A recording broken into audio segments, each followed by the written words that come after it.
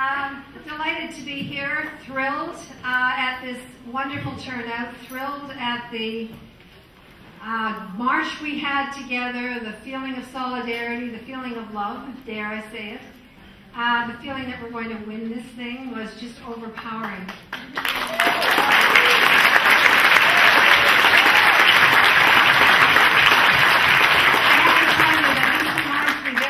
of the MAI fight, the Multilateral Agreement on Investment, for those of you who are part of it. And people were going around saying, what the hell is an MAI? And pretty soon we had 600 groups, uh, 600 MAI-free zones across the country, and we won it.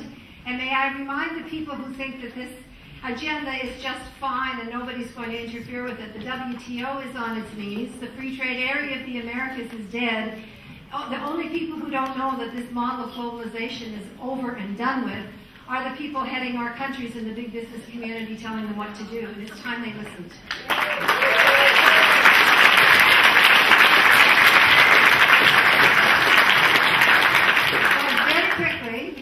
To get substance in here, I'm going to give you the 10 reasons to oppose SPP, and I'm going to do it fast because we only have a few minutes each. Number one, the SPP is profoundly anti-democratic. The North American Competitiveness Council, made up of the CEOs from 30 major corporations, including Walmart, General Electric, Merck, and Lockheed Martin, co-governs the three uh, with the three heads of states and drafted all of the SPP's 300 initiatives. No other sector in our society has been consulted on the SPP and elected representatives in all three countries have been frozen out of the process. Number two, the SPP extends George Bush's war on terror with its fixation on bombs, borders, and Bibles to Canada and Mexico.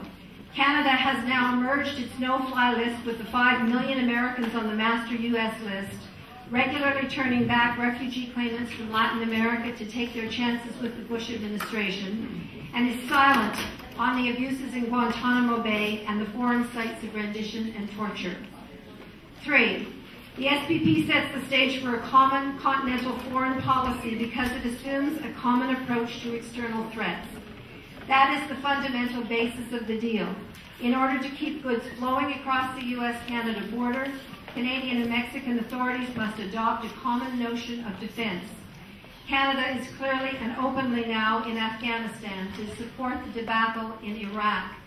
Uh, and as continental defense operation operability increases, the chances for an independent foreign policy decrease. Number four, the SPP has adopted continental regulatory convergence. 20 cross-border working groups using the definition of smart regulations with its emphasis on risk assessment over the precautionary principle, have been tasked with harmonizing standards, regulations, and practices in areas as diverse as the environment, health, food, intelligence, transport, law enforcement, traveler security, and regional competitiveness. This with a superpower where political appointees now supervise the work of regulators in all federal agencies to ensure that regulations are market friendly. Number five, the SPP will help reintroduce the defeated multilateral agreement on investments back into North America through TILMA, the Trade, Investment and Labor Mobility Agreement already in place between Alberta and British Columbia. The SPP plan for regulatory convergence is made more difficult by the fact that the provinces have a lot of authority over rules affecting the economy. TILMA gives corporations the right to sue for compensation if they run into higher standards in other provinces. If all of the provinces sign up to TILMA, which is the plan, it will make the job of continental regulatory convergence much easier. Six, the SPP is an energy grab and will accelerate the destruction of energy reserves on the continent. A five-fold increase is built into the SPP process and the U.S. energy companies and the White House want to cut any red tape or environmental concerns connected with this project. Prime Minister Harper bailed out of Kyoto Accord to pave the way for massive new energy production in Canada to provide for U.S. energy security. Mexico's independent energy policy will be the next item on the table. Number seven, the SPP paves the way for American control of Canada's water supplies. This was confirmed by the three think tanks hired by the governments to design a policy blueprint for the continent called North American Futures 2025 Project. Leaked documents for several closed-door meetings last spring clearly stated that water exports and commercial diversions are a serious topic of negotiation. Assurances by the Harper government that Canada's water is not for sale sound very, very much like the assurances made by Brian Mulroney 20 years ago that Canada's energy was safe from NAFTA. Number eight, the STPP promotes the fast tracking of cheap imports from Asia, set to grow exponentially in the coming decade through the expansion of superports, particularly Halifax and Vancouver, and trade corridors, including a NAFTA superhighway that will include multi-lane highways, railway lines, electrical grids, energy and perhaps water pipelines, and liquid natural gas terminals, all to facilitate this explosion in imports. There are nowhere near enough inspectors in North America at present to deal with these imports now. The SPP will make the situation more dangerous. Number nine, the SPP will weaken labor standards. The North American Future 2025 project calls for labor flexibility to respond to the new demands of a trans transitional market in order to keep this new bloc competitive. This is code speak for disbanding unions, lower wages, and precarious working conditions.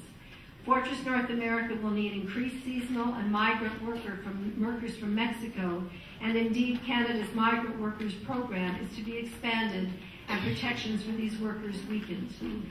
And finally, the SPP will encourage regional integration and free trade zones like Cascadia and Atlantica, whose business backers are already touting the lower labor standards and harmonization of regulations right across all of the provinces of the Atlantic area and the North America, sorry, the northeastern states of the United States involved in this project.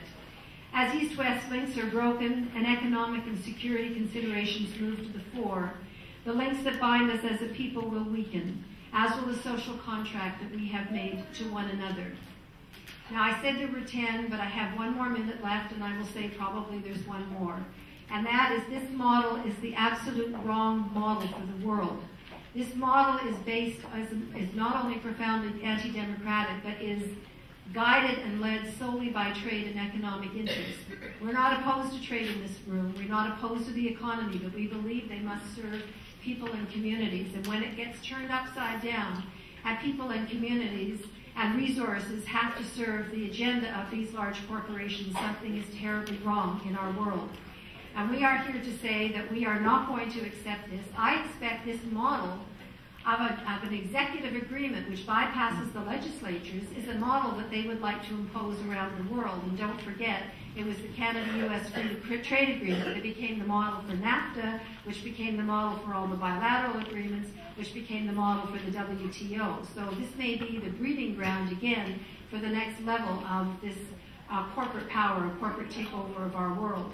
Well, we've been working at the Council and Common Frontiers and Canadian Centre for Policy Alternatives and other groups very, very hard to get the word out around Canada and across the uh, across the, the, the, continent. And I can tell you it is happening. We're getting calls and hits on our website from all over the world, and suddenly this issue has come to the fore. And we are going to stand up loud and clear and say no to this agenda, not just because of Canadian environmental concerns and Canadian workers' concerns, and our concerns about health and safety, although those are real and valid, nor just about the issue of democracy, but because if we allow this to happen on this continent, it's going to be the blueprint for the world, and we're not going to do that again. Thank you very much for listening.